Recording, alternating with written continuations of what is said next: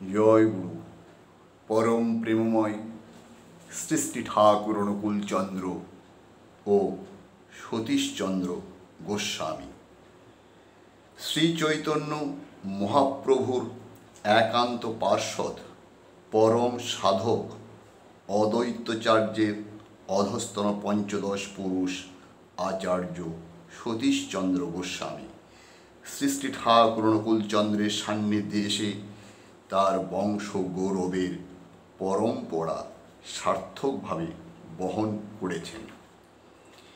তেইশে জ্যৈষ্ঠ তেরোশো একুশ বঙ্গাব্দ, সৃষ্টি ঠাকুর অনুকূলচন্দ্র স্বয়ং আনুষ্ঠানিকভাবে দীক্ষা দিলেন শ্রীমৎ আচার্য সতীশচন্দ্র গোস্বামীকে। সৃষ্টি ঠাকুরের এই প্রথম নিজের দীক্ষাদান। ছয় শ্রাবণ তেরোশো একুশ বঙ্গাব্দের সন্ধ্যায় কিশোরী মোহিনীর বাড়িতে সমবেত হয়েছেন অনেকে। ঠাকুর এসেছেন অনন্ত মহারাজকে সঙ্গে নিয়ে। পরম ভক্ত জ্যোতিষ ঘোষে জিজ্ঞাসা করেন গোসাইয়ের কথা। শুনলেন তিনি সাধনায় নিমগ্ন আছেন। কীর্তন শুরু হলো। কীর্তনের চরম পর্বে সমাধিস্থ হলেন ঠাকুর। কিশোরীর মনে প্রশ্ন, ঠাকুর গোসাইয়ের জন্য এত ব্যস্ত কেন? অদ্বৈত বংশের সন্তান, সেই কি অদ্বৈত প্রভু? ঠাকুরের কণ্ঠে উচ্চারিত হলো হ্যাঁ হ্যাঁ তাই, অদ্বৈত মহাপ্রভু। ও ঝাঁপ দিলে প্রকৃত প্রচার আরম্ভ। পরবর্তীকালে এ বিষয়ে ঠাকুরকে জিজ্ঞাসা করা হলে তিনি বলেন, সমাধিস্থ অবস্থায় তিনি যা বলেন, তাতে তার কোনো স্বাধীনতা নেই। তাই সে কথার দায়িত্ব তিনি নিতে পারেন না। পরদিন ঠাকুর নিজেই গেলেন সতীশ গোসাইয়ের বাড়ি। সঙ্গে অনন্ত মহারাজ, কিশোরী মোহন ও কীর্তনের দল। শুরু হলো তুমুল কীর্তন। সে যুগের কীর্তনের বর্ণনা ভাষায় প্রকাশ করা যায় না। এক কথায়, ঠাকুরের উপস্থিতিতে সৎসঙ্গের আদি যুগের সেই তাণ্ডব কীর্তন অবর্ণনীয় অকল্পনীয়। নৃত্য করছেন কিশোরী মোহন, কখনো এগিয়ে, কখনো পিছিয়ে, কখনো বা হুঙ্কার দিয়ে ঢাকের উপর লাফিয়ে উঠে নেচে চলেছেন। তালে তালে লাফিয়ে উঠছেন মহারাজ, অথচ হাঁটু ভাঙছে না, পা বাঁধছে না। রবারের মূর্তির মতন পা মাটিতে ঠেকা মাত্র লাফিয়ে উঠছেন শূন্যে। ধ্যান ও স্তিমিত নেত্র, হাস্যময় প্রশান্ত মুখ। গোসাইও যোগ দিয়েছেন কীর্তনে। তুমুল তাণ্ডব নৃত্য, কণ্ঠে হুঙ্কার, কখনো ঢাক শুদ্ধ ঢাকিকে বন বন করে ঘোরাচ্ছেন, কখনো বা কাউকে শূন্যে ছুঁড়ে লুফে নিচ্ছেন। কাউকে কাঁধে তুলছেন, কারও কাঁধে উঠছেন, এই যেন শিব তাণ্ডবের দুরন্ত রূপ। হেলে দুলে নাচছেন ঠাকুর, দেহে জ্যোতি তরঙ্গের খেলা, অস্থিহীন, গ্রন্থিহীন, অপরূপ ছন্দময় নৃত্য। ঠাকুর সমাধিস্থ হয়ে পড়লেন। মহাভাববাণীতে উচ্চারিত হলো, কর্ম কর্ম যাই কর্ম। যত কর্ম, তত অগ্রসর। তোরা কি জানিস? ভগবানের বাহু, প্রচার করতে তোদের তৈরি।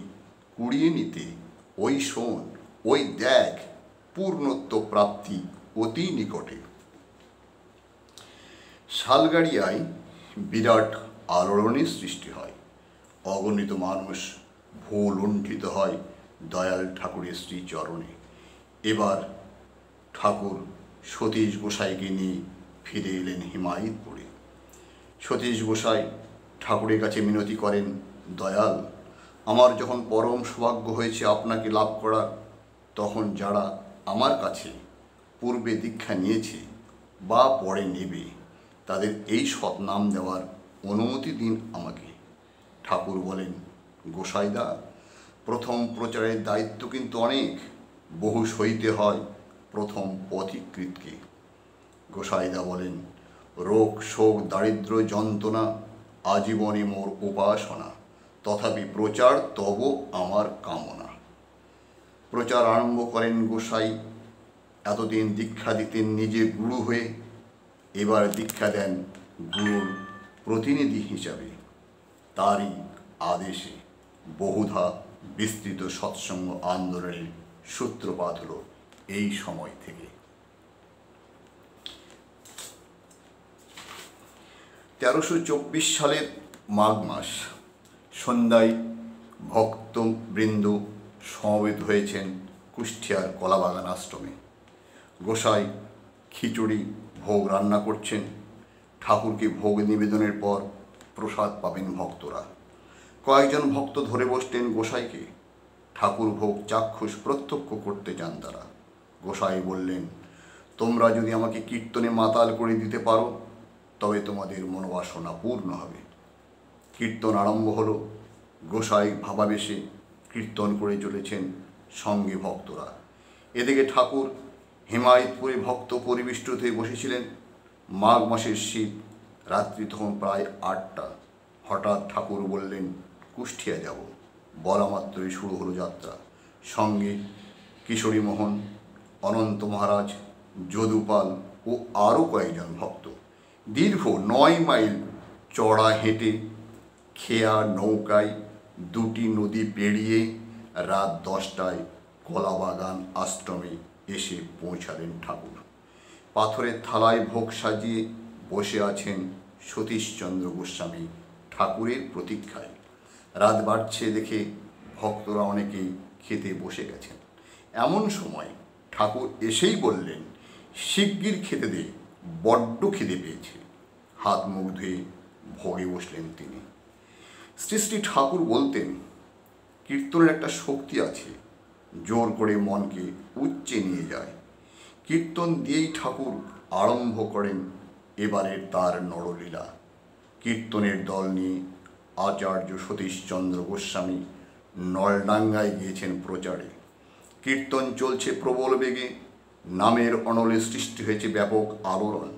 দলে দলে ধর্মপিপাসু মানুষের দল এসে দীক্ষা নিয়ে জীবন সার্থক করছেন। কাছেই ছিল পতিতাপল্লী। সেখানকার এক পরমা সুন্দরী রমণী অনুতাপের তুষানলে দগ্ধ হয়ে উন্মাদিনীর মতো কীর্তনের মধ্যে ছুটে এসে জড়িয়ে ধরল গোসাইয়ের পা। চিৎকার করে কাঁদতে কাঁদতে বলল, আমাকে উদ্ধার করুন, আমাকে রক্ষা করুন বাবা। বলে দিন আমার বাপের প্রাশ্চিত্য কী?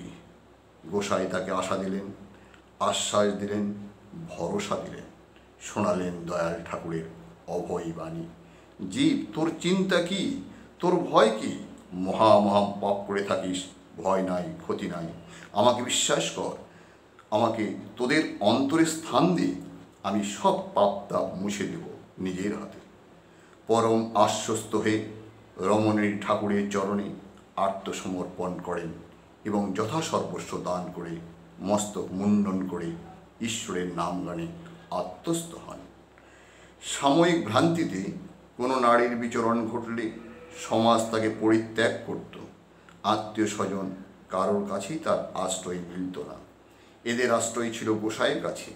তিনি বলতেন, এদের ছেড়ে দিলে এরা আরও অধঃপতনে পথে চলে যাবে। এদের দ্বারা বহু লোক কলুষিত হবে। অজস্র বর্ণ সংকরে ভরে যাবে দেশ। বরং এদের আশ্রয় দিয়ে আদর্শের পথে উদ্বুদ্ধ করতে পারলে মঙ্গল হবে সব দিক দিয়ে।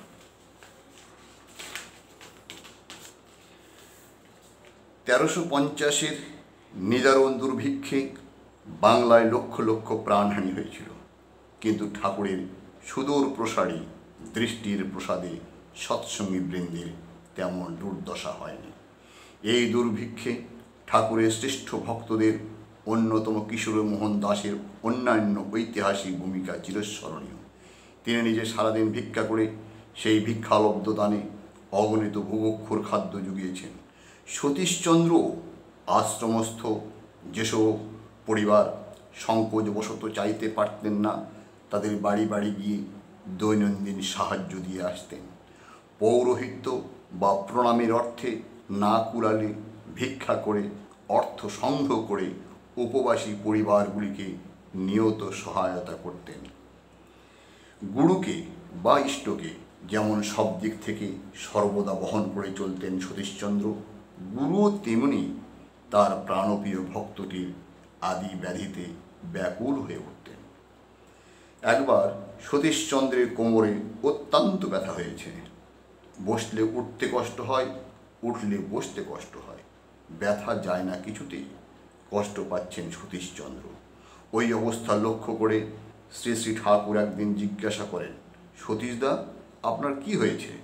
ঠাকুরের কথা শুনে সতীশচন্দ্র ঠাকুরের পা দুখানি দুহাত স্পর্শ করে বললেন, আপনি আর সে কথা জিজ্ঞাসা করবেন না। সতীশচন্দ্রের কথা এভাবে বলার কারণ যে তিনি বিশেষভাবে জানেন যে ঠাকুর অনেক সময় অপরের রোগ নিজের শরীরে গ্রহণ করে থাকেন, তাই তিনি তার ব্যথার কথা ঠাকুরকে জানাতে চান না। এরপর জলযোগ গ্রহণের কিছুক্ষণ পর সতীশচন্দ্র উঠতে গিয়ে দেখলেন তার আর কোনো কষ্ট হচ্ছে না। ব্যথা সম্পূর্ণ দূরীভূত, কিন্তু ঠাকুরের কোমরে অত্যন্ত ব্যথা দেখা দিল। গুরুগত প্রাণ সতীশচন্দ্র গভীর দুঃখে ঠাকুরকে বললেন, আমি তো বললাম, আমার ব্যথার কথা আপনার শুনে দরকার নেই। এই দেখুন, আমার ব্যথা সেরে গিয়ে আপনার ব্যথা হলো। প্রসঙ্গত বলা প্রয়োজন যে, অনেক সময় ঠাকুরকে রোগ ব্যাধির কথা জানালেও, রোগ ব্যাধির কথা না জানালেও তার মনোযোগ কোনোভাবে আকৃষ্ট হলেই অপরের রোগ যন্ত্রণা তার দেহে প্রকাশ পেত। নামময় অবস্থার সংস্পর্শে সে যুগে অনেক দুরারোগ্য ব্যাধি নিরাময় হয়। ডাক পিয়ন লক্ষণ ঘোষ পক্ষাঘাতে দীর্ঘদিন শয্যাশায়। বহু চিকিৎসাতেও ফল হয়নি কোনো। অশ্বিনী বিশ্বাসের বাড়িতে কীর্তন হচ্ছে, পরিচালনা করছেন গোসাই। প্রতিবেশের লক্ষণকে এনে রাখল গোসাইয়ের পায়ের কাছে। ব্যাধি মুক্তির মিনতি জানিয়ে লক্ষণকে বুকে ঝরিয়ে কীর্তনের নামেন গোসাই। কিছুক্ষণ নৃত্যের পর তাকে ছেড়ে দিলেন। লক্ষণ সুস্থ দেহে হেঁটে বাড়ি ফিরে গেল স্বকৃতজ্ঞ চিত্তে। নাম চিকিৎসায় এভাবে অনেক দুরারোগ্য রোগীর ব্যাধি মুক্তি ঘটে। রোগীকে স্পর্শ করে নাম করা হতো কখনো নিরবিচ্ছিন্নভাবে, কখনো বা পর্যায়ক্রমে নামের বিচিত্র শক্তি দেখে দূর দূরান্ত থেকে নানা রোগের রোগীরা আসত নাম চিকিৎসায় সুস্থ হতে। অটুট ভক্তি, বিশ্বাস নিয়ে তীব্রভাবে নাম করলে দেহের মধ্যে প্রবাহিত অদৃশ্য, আলোক স্রোত মস্তিষ্কে সংহত হয়। তখন অসুস্থ বা সদ্য মৃত ব্যক্তিকে স্পর্শ করলে ওই সুপ্ত জীবন শক্তির সঞ্চারণে অসুস্থ ব্যক্তি সুস্থ হতে পারে। মৃত ব্যক্তিও জীবন পেতে পেতে, মৃত ব্যক্তিও জীবন পেতে পারে। যদি ওই মৃত ব্যক্তির শরীরের বিধানের কোনো বিশিষ্ট যন্ত্র সম্পূর্ণভাবে বিকল বা বিকৃত না হয়, সতীশচন্দ্র দানে ছিলেন সিদ্ধহস্ত। অজস্র প্রণামী পেতেন, অকাতরে বিলিয়ে দিতেন শেষ কপর্দক পর্যন্ত। একবার সুরেন বিশ্বাস গোসাইয়ের গায়ে তখনকার সময়ে আড়াইশো টাকা দামের একটি নতুন শাল জড়িয়ে দিলেন। গোসাই ফিরছেন কুষ্টিয়ার আশ্রমে। রাস্তায় দেখেন এক নগ্ন ভিখারি শীতে কষ্ট পাচ্ছে। গোসাই প্রথমে নতুন শালটি তাকে দিলেন, তারপর একে একে নিজের জামা, কাপড়, জুতো ইত্যাদি যাবতীয় পরিধেয় তাকে দিয়ে সম্পূর্ণ নিরাবরণ হয়ে বাড়ি ফিরলেন। এরকম বহু ঘটনা ঘটেছে তার জীবনে। যোগ্য সহধর্মিনী, গোসাইমা সব দিক থেকে পরিবর্তন পরিপূরণ করতেন গোসাইকে। প্রতিষ্ঠান গড়ে তোলার কাজেও তার অবদান বিশেষ গুরুত্বপূর্ণ। বিভিন্ন কর্ম প্রতিষ্ঠানের জন্য প্রয়োজন বিপুল অর্থ, প্রচারের সঙ্গে সঙ্গে অর্থ সংগ্রহ করে নিয়মিত পাঠাতেন। ভিক্ষার চেয়ে গোসাই লোককে সেবা দিয়ে অর্থ সংগ্রহ করতেন বেশি। নাম চিকিৎসায় রোগীকে চিকিৎসা করে অর্থ সংগ্রহ করতে গিয়ে তাকে ভুগতেও হয়েছে অনেকবার। রোগীর কর্মদোষ কাটাতে অনেক সময় রোগ টেনে নিয়েছেন নিজের দেহে। এর ফলে একবার তাকে দীর্ঘ ছমাস শয্যাশায়ী হয়ে থাকতে হয়েছিল। এই জাতীয় অসুখে গোসাইয়ের চিকিৎসা করতেন কিশোরী মোহন। মহাতাপস সতীশচন্দ্র গোস্বামী জীবনের শেষ দিন পর্যন্ত ইষ্টের অভিষ্ট পূরণে সচেষ্ট ছিলেন। জীবনের পরম মুহূর্তে শ্রী শ্রী ঠাকুরের কাছ থেকে যে ঐশ্বর্য তিনি পেয়েছিলেন, জীবন সাহান্যেও ছিল সেই পরম প্রাপ্তির পূর্ণ অভিব্যক্তি। সাধন জগতের বিভিন্ন স্তরানুভূতি এবং তাদের সহজ বিচরণ তার কাছে ছিল নিতান্ত স্বাভাবিক। কখনো কোনো অবস্থায় বিচলিত হতেন না। শান্ত, স্থির, লালিত্যে ভরা মুখমণ্ডল ছিল সদা হাস্যময়। জয় গুরু।